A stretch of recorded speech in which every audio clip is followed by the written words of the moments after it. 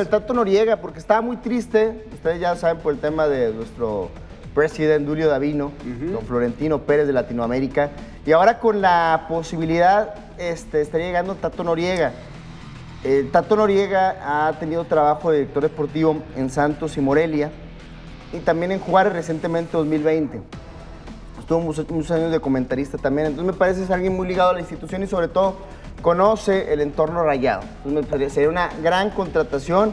Sé que la, la preocupación o la tristeza que tenía por la salida de Duilio ya se me empieza a quitar con la Es que son amigos, ¿no? Tato. Tato y, Duilio.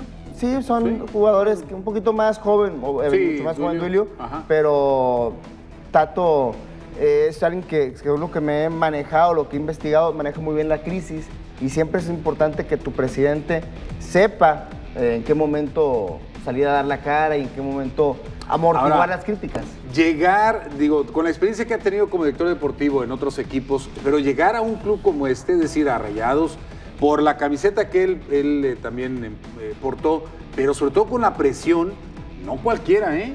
O sea, por más experiencia que tenga, ya está llegando a otro equipo Sí. de otro nivel que ojalá y lo dejen trabajar. Nada más. Sí, lo van a dejar Ojalá y trabajar. lo dejen. Yo aplaudo la llegada del Tato Noriega. Es Sí, alguien sí, de casa, sí. conoce la institución, conoce el entorno, porque se hablaba incluso la posibilidad de un español y ahí sí no, porque no conoce No, todo, pues, entonces iba a ser muy complicado. Él está más familiarizado Sí, con lo ya que sabe. sí. Sabe que Luzanía va a empezar a reventar si no ganan la jornada 6.